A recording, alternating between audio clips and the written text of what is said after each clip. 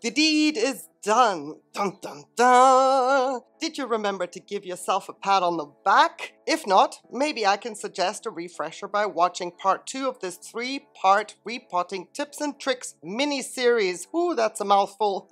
now that your orchid is in the pot, after patting yourself on the back, take a moment to enjoy knowing that the media is fresh, the roots are cleaned up, any pest concerns have been addressed and dealt with, and set a notice in your calendar to check on your orchid in two weeks, just in case previously existing pests are trying to make a comeback. But that does not mean that your orchid won't need attention throughout the two weeks. En contraire, there would be no post repotting tips and tricks and care video if that were to be the case. So consider doing the following to ensure that your repot is not going to be thorn out. No matter what media you have your orchid in, the biggest factor for the coming six weeks is to focus on flushing the pot regularly. When it comes to new bark, this is especially important because fresh bark will repel water for the foreseeable future and older roots are accustomed to the more water retentive media from the previous pot you just took the orchid out of. Now, fertilizing and supplementing is super important as well, but at a slightly lower level so as to help the orchid out with nutrients, but not the whole mother lode of what it may have been able to absorb prior to the repot. As a matter of fact, many of the care requirements your orchid can tolerate while she was established in her older setup now have to be dialed down by at least 30% if not 50% depending on the state of the orchid prior to repot. This includes fertilizer, light and extreme temperature exposure. So as an example, if your orchid could tolerate super high light, including direct sun, then what that orchid needs after a repot is bright shade, reduced airflow, and reduced fertilizer and supplements. The reduced airflow will become clear a little further on in this video. The reduction of everything that the orchid normally would have preferred prior to the repot reduces the after effects of our orchids post-repot and the stress of having to cope with any extremes that could induce stressful side effects, like water loss through transpiration of the leaves, aborting the new root growth because the orchid goes into survival mode and shuts down to protect itself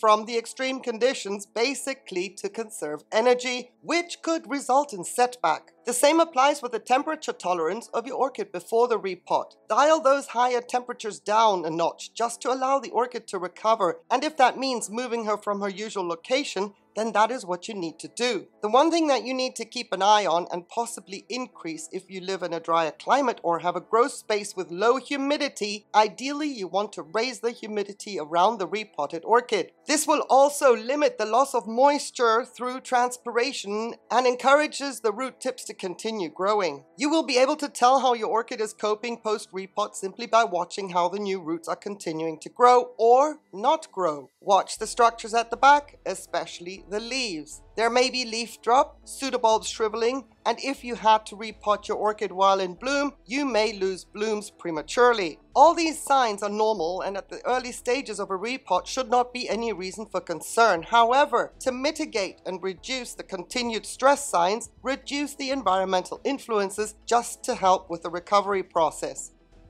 You may also have to decide whether you want to cut off the blooms of your orchid if the repot timing coincides with her being in bloom. Sometimes the growth habit of the orchid is such that she is still in bloom, coming into bloom, or in the process of growing a spike as new roots are growing. While I advocate for eliminating any unnecessary energy consumption, which could stop the orchid on focusing on what we want her to continue to do, and that is grow the roots, cutting off spikes or blooms is a personal decision. If you opt to not cut off any blooms post repot, please make sure that you keep an eye on the new roots and if they show any signs of not progressing, then you will have to make that hard decision for the sake of your orchid so that the focus is on root growth as opposed to blooms. Remember that many stressed orchids will put all their energy into the blooms because it is in their DNA to bloom to reproduce. So if an orchid does not abort the buds or spikes and continues to bloom out, it is not an indicator that the orchid is coping well after the repot. The progress of the roots continuing to grow or the lack thereof,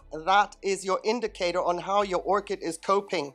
The flushing as post repot care is the most important factor, and that is why I mentioned it straight away. It is often something that is not taken into consideration, and usually we tend to go straight back to caring for the orchid the way we did before, because we know the orchid did well with the previous care. We continue to apply the normal fertilizer levels, same as high light, high temperatures, but we must never forget that we possibly removed a substantial part of a root system to make space for more roots, so the orchid has less to work with. We may have also removed some structures from the back to clean the orchid up or make her fit into a pot. We may have divided the orchid, so now your orchid does not have the same amount of energy reserves as previously, and she doesn't have that many structures to support. So the fertilizer levels, as per pre-repot, may not be necessary anymore. And depending on the setup, the media is not as water retentive as it was before. So with the flushing, you will be counteracting the possibly drier environment for the still existing viable roots. Flushing also cleans the pot climate of any debris that is going to accumulate when it comes to a possible decline of the older roots. It also freshens the pot up on a regular basis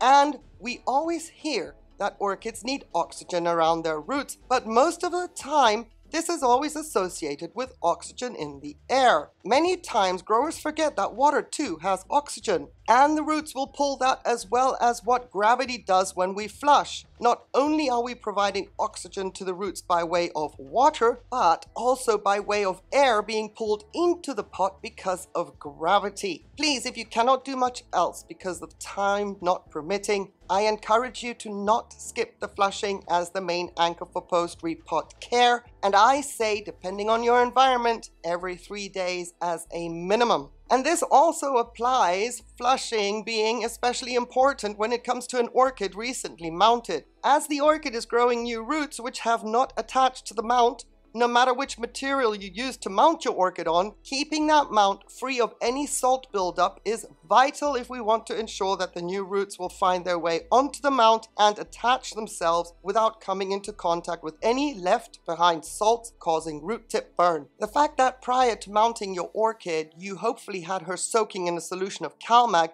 as per the recommendation in part one of this mini series, your orchid has enough nutrients in her to continue doing what she needs to do with the root growth. I flush my mounts by misting with the purest water I have, which is reverse osmosis water, seeing as my mains water is too high in parts per million. The best flush you can give your newly mounted orchid comes from Mother Nature in the form of rain. If you're blessed with an environment that favors good airflow and frequent rain, then take advantage of your conditions and let Mother Nature do the work for you. For all repots or new mounts, there is one supplement that I highly recommend to use on a regular basis, and that is seaweed, just to keep the hormones going with the orchid. With seaweed, we can encourage the orchid to continue mobilizing her own growth hormones and boost those a little bit so that she does not even think about aborting any new root growth. Same as with any nutrients you apply post-repot, keep the seaweed levels conservative. All you want to do is give your orchid enough to signal to her that she needs to continue on the path she was on before the repot happened, which also translates into the setup change if the orchid were to be mounted. When it comes to the different variables of what you can expect to happen to your orchid in the coming months, I highly recommend you check out a video that I posted which covers post-orchid repot signs and symptoms. It covers what to expect or what you may not know can happen no matter how well you have cared for your orchid. I will link that in the description along with part 1 and 2 of this repot mini series. And remind yourself that you are dealing with orchids and all our best intentions can end up with something not going according to plan. The key to all of this is understanding what you could be up against and then proceed to intervene as and when and if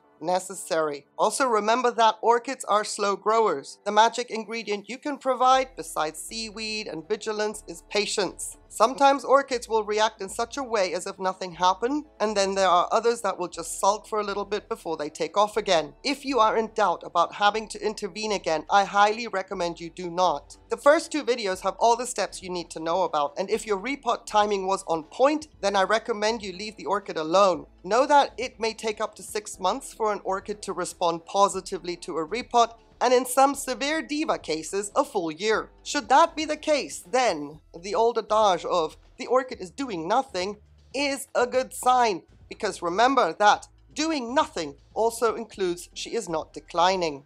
I hope that this was helpful and wish you a wonderful repotting season. But if you have any questions or doubts because this was quite general and you would like to get into specifics, let me know in the comments what challenges you are currently facing. If you've just repotted an orchid and you are kind of concerned about the ongoings or the non-ongoings of your orchid, let's continue the conversation based on your circumstances. And if you don't mind, please give this video a thumbs up, subscribe to the channel for more content like this, the support is much needed and so appreciated. Thank you so very much for watching. Have yourself a fabulous day on the condition though, please, that you stay safe.